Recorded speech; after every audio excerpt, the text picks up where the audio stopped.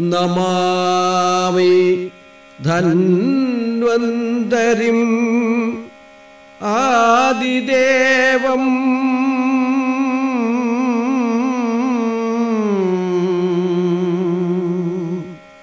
സുരാസുരൈർവന്ദിത പാദപത്മം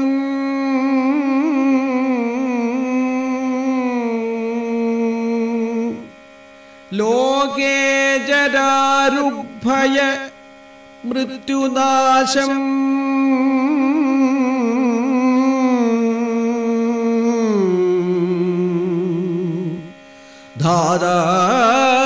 ധാരാരമീശം വിവിധൗഷധീനാം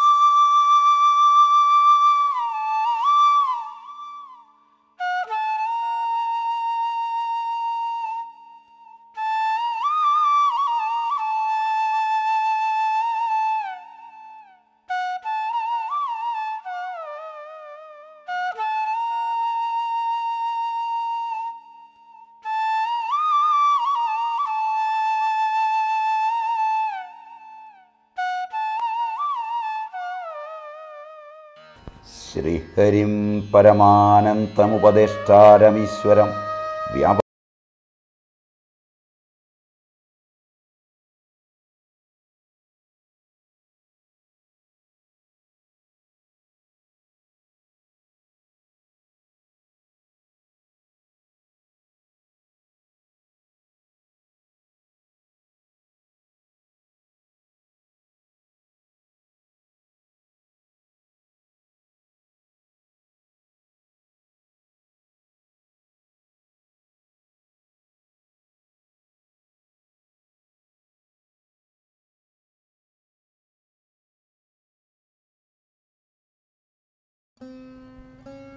ആയുർവേദ രംഗം.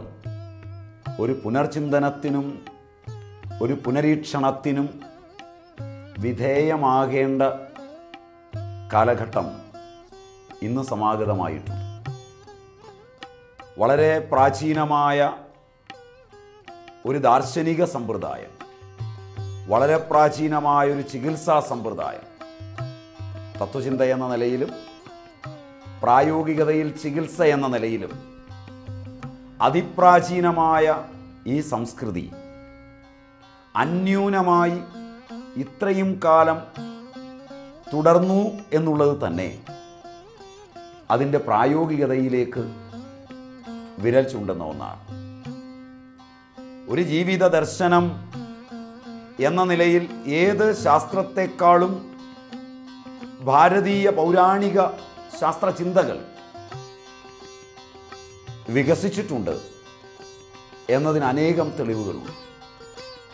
ജനജീവിതത്തിലേക്ക് ഒരറിവ് ആകസ്മികമായി ഇറങ്ങിച്ചെല്ലുകയില്ല.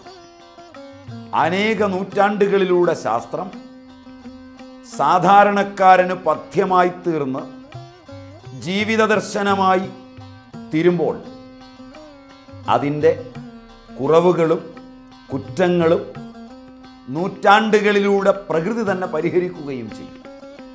എന്നാൽ വ്യാവസായിക തലത്തിൽ ദ്രവ്യാധിഷ്ഠിതങ്ങളായ സങ്കല്പങ്ങളിൽ നിലകൊണ്ടുകൊണ്ട് ഒരു ശാസ്ത്രത്തെ ഗവേഷണ പദ്ധതിയിലൂടെ ജീവിതഗന്ധിയല്ലാതെ വാർത്തെടുക്കുമ്പോൾ ശാസ്ത്രജ്ഞനും ജനതയും അറിവിന്റെ രണ്ട് തലങ്ങളിലായിരിക്കുകയും ഒരു ഉപഭോക്താവിന്റെ തലത്തിലേക്ക് ജനത മാറുകയും. ശാസ്ത്രജ്ഞൻ ഒരു കച്ചവടക്കാരന്റെ തലത്തിലേക്ക് ഉയരുകയും ചെയ്യും. ഇമാതിരി ഒരു സമീപനം.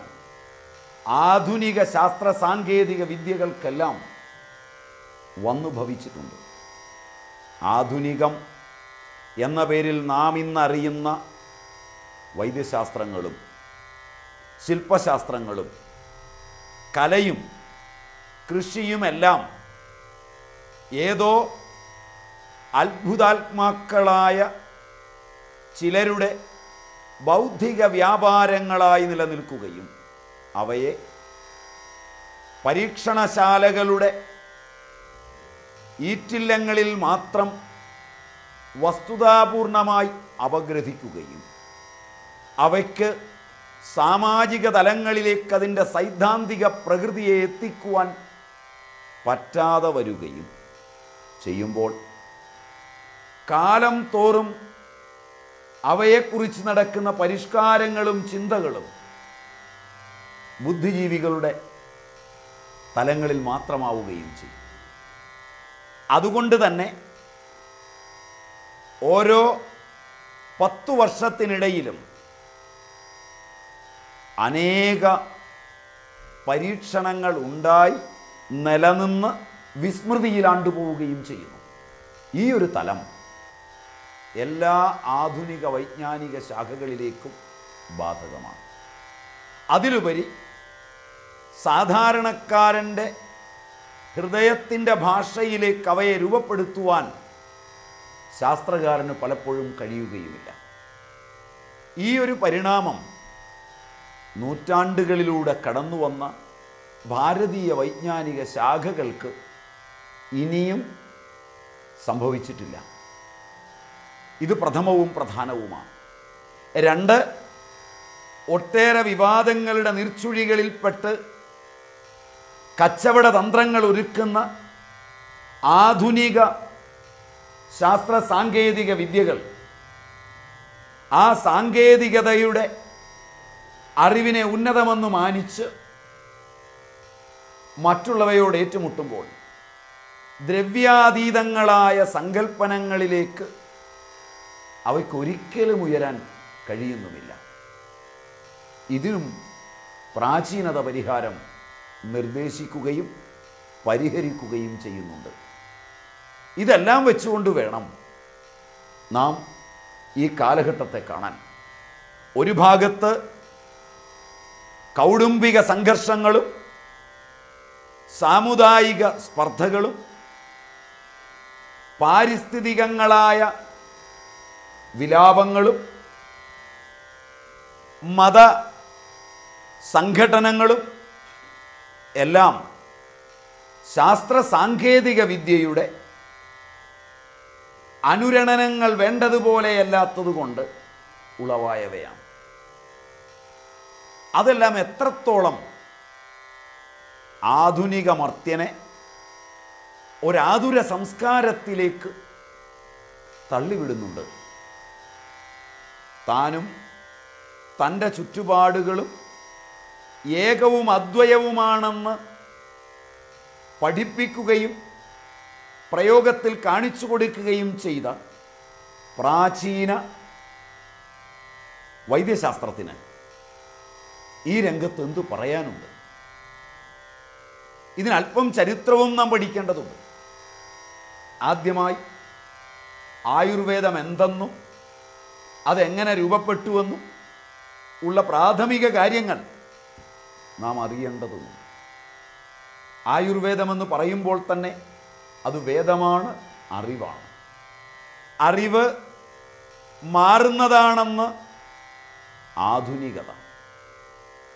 അറിവ് മാറ്റമില്ലാത്തതാണെന്ന് പൗരാണികത. അപ്പോൾ അറിവ് രണ്ടുണ്ടോ? അറിയുന്നവനെന്നൊരറിവും അറിയപ്പെടുന്ന വസ്തു എന്നൊരറിവും എക്കാലത്തുമുണ്ട്. അറിയുന്നവനും അറിയപ്പെടുന്നതും അറിവെന്ന പ്രക്രിയയിലായതുകൊണ്ട് അറിവെന്ന് മൂന്നാമതൊരു തലവുമുണ്ട്. അറിവ് അറിഞ്ഞിടുന്നവൻ അറിയുന്ന രീതി. അപ്പോൾ അറിവ് അറിയപ്പെടുന്ന വസ്തു അറിയുന്നവൻ. അറിയുന്നവൻ എന്ന സങ്കേതം മാറ്റമുള്ളതാണോ? അറിയുന്നവനെ കുറിച്ചുള്ള അറിവിന് മാറ്റമുണ്ടാകുമോ? അവൻ അറിയുന്ന വസ്തു അവന്റെ തന്നെ ബോധത്തിന്റെ ഭാഗമായാൽ അതിന് മാറ്റമുണ്ടാകുമോ? അതിനെക്കുറിച്ചുള്ള അറിവ് മാറുന്നതാകുമോ? ഇങ്ങനെ മൂന്നെണ്ണം ചേർത്ത് ഒരു ഭാഗവും. അറിയുന്നവൻ അവന്റെ ഇന്ദ്രിയങ്ങളെ അവലംബിച്ച് വിഷയ ഇന്ദ്രിയ വ്യാപാരത്തെ അവലംബിച്ച് മാറി മാറി വരുന്ന വൈകാരിക തലങ്ങളിൽ അറിയുന്നു എങ്കിൽ ആ അറിവ് മാറ്റമുള്ളതാണ്. ഒരുവൻ അവന്റെ ഇന്ദ്രിയങ്ങൾക്ക് ലഭിക്കുന്ന അറിവിനെ ആ ഇന്ദ്രിയങ്ങളിൽ നിക്ഷിപ്തമായിരിക്കുന്ന വൈകാരിക വൈചാരിക ഭാവങ്ങളില്ലാത്തപ്പോൾ മറ്റൊരുവൻ എങ്ങനെ നോക്കിക്കാണും? ആധുനിക അറിവുകളിൽ കേവലത എന്നൊന്നോ സമഗ്രത എന്നൊന്നോ ഇല്ലാതാകുമ്പോൾ സമഗ്രവും കേവലവുമായ അറിവ് ശാസ്ത്രജ്ഞന്റേതാണ്. ശാസ്ത്രം ദേശം കാലം ദ്രവ്യം എന്നിവയെയും അദൃഷ്ടത്തെയും പരിഗണിച്ച് കഴിഞ്ഞ് അത് അവന്റെ ബോധസത്തയിൽ ചേർത്ത് ദ്രവ്യാതീതമായി അറിയുമ്പോൾ അദ്രവ്യ പരിഗണനകളിൽ അറിയുമ്പോൾ അത് പൂർണമായ അറിവായി ആ അറിവാണ് ആധുനികൻ ഇന്ന് ഇല്ലാത്തത്. ഒരു പക്ഷേ ഐതിഹാസിക ഊർജതന്ത്രത്തിന്റെ ക്ലാസിക്കൽ ഫിസിക്സിന്റെ തലങ്ങളിൽ ഒരു സ്വപ്നാടകനെ പോലെ സഞ്ചരിച്ച കുറേ ആധുനിക ശാസ്ത്രജ്ഞന്മാർക്ക് ഇതിനെക്കുറിച്ച് പറയാനുണ്ടാവാം. പക്ഷേ ശാസ്ത്രലോകം അതിനെ ദ്രവ്യാധിഷ്ഠിത പരിഗണനകളിൽ വെച്ച് അപഗ്രഥിക്കുമ്പോൾ കൈവല്യമെന്നല്ല വൈകല്യമെന്നാണ് കരുതിപ്പോരുന്നത്. ദ്രവ്യാധിഷ്ഠിത ഊർജതന്ത്രത്തിനും ദ്രവ്യാധിഷ്ഠിതമായ രസതന്ത്രത്തിനും ദ്രവ്യാധിഷ്ഠിത ഊർജതന്ത്ര രസതന്ത്രാദികളെ സൃഷ്ടിക്കുന്ന ദ്രവ്യാധിഷ്ഠിത സാമ്പത്തിക ശാസ്ത്രത്തിനും വാണിജ്യ വ്യവസായങ്ങൾക്കും ദ്രവ്യത്തിനപ്പുറം ശാസ്ത്രലോകം ഇനിയും ചിന്തിച്ച് കഴിഞ്ഞിട്ടും അതിനെ പ്രായോഗികതയിൽ ചിന്തിക്കാൻ കഴിയുന്നില്ല. പ്രാചീനരുടെ പഠനങ്ങൾ ദ്രവ്യത്തിനപ്പുറം നിലകൊള്ളുകയും ദ്രവ്യത്തിന്റെ തലങ്ങളിൽ അവ ശരിയാണെന്ന് ഉറപ്പാക്കുകയും ചെയ്യുന്നിടത്താണ് കാലാതിവർത്തിയായി ഈ ശാസ്ത്രങ്ങൾ വർത്തിക്കുന്നത്.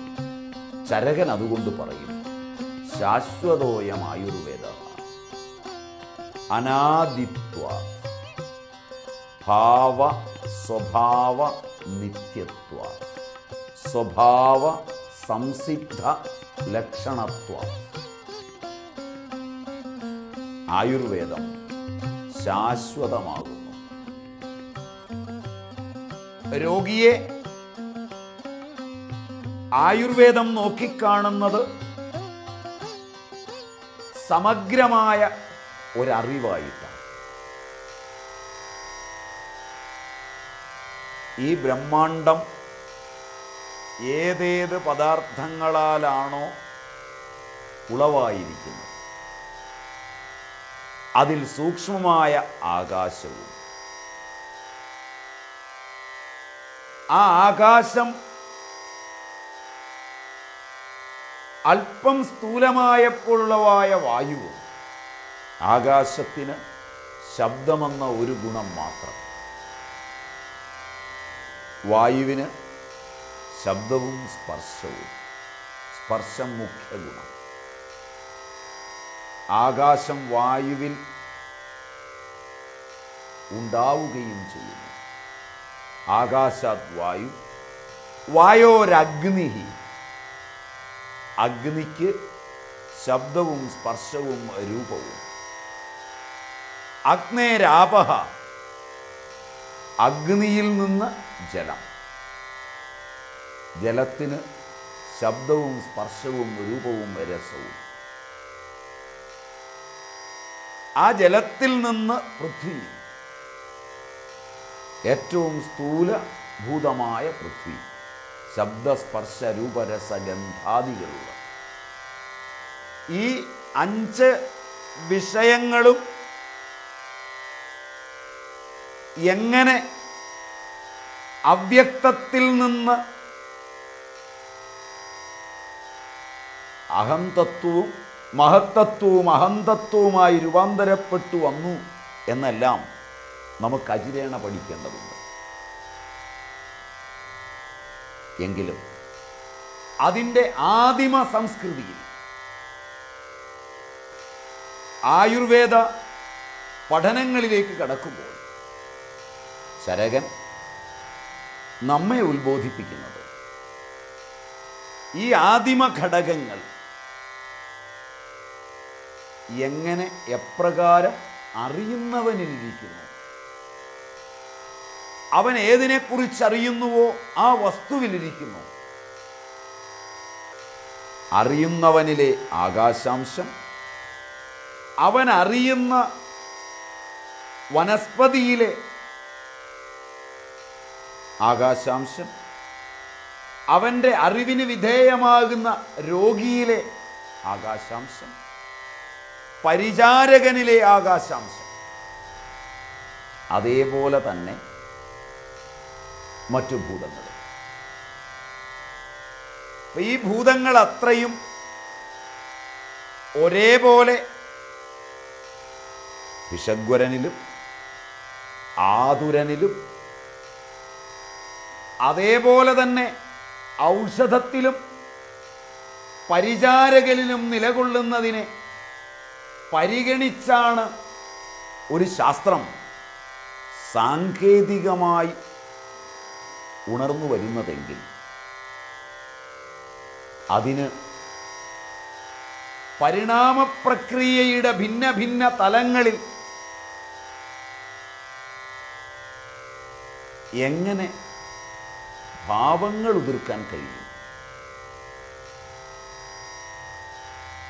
ഇതാണ് ആയുർവേദത്തിന്റെ ആചാര്യന്മാർ ഒരുപക്ഷെ അതിന്റെ ആരംഭകാലങ്ങളിൽ തന്നെ ശ്രദ്ധിച്ചു. ശാശ്വതമായ ഒരു കാരണം ശാശ്വതമായ കാരണത്തിന് ചേർന്ന് നിൽക്കുന്ന അങ്കികളായ കാരണങ്ങൾ. ആ കാരണങ്ങളെ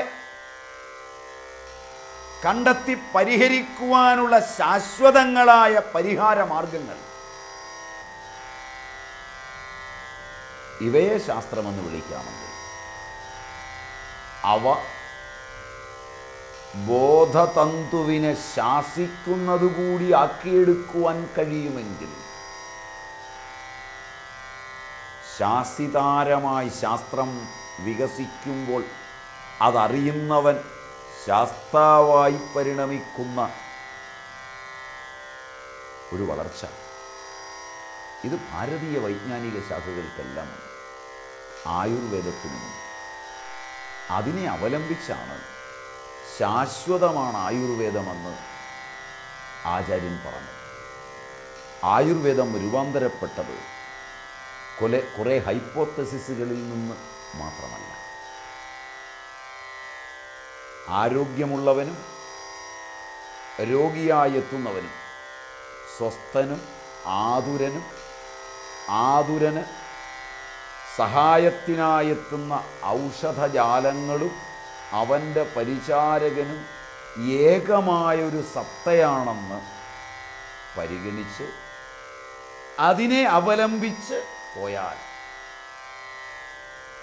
ഏത് കാലത്തിലും അവ എങ്ങനെയെല്ലാം ആകുമെന്ന കാലിക മാറ്റങ്ങളെ കൂടി എഴുതു. പാവങ്ങളെ വിസർജ്യകാലത്തിന്റെയും ആദാനകാലത്തിന്റെയും പ്രത്യേകതകളെ ഒക്കെ കാലമെന്ന നിലയിൽ തന്റെ അവബോധത്തിൽ കൂടി പരിഗണിച്ച പറ്റുമെന്ന് ആചാര്യൻ കണ്ടു.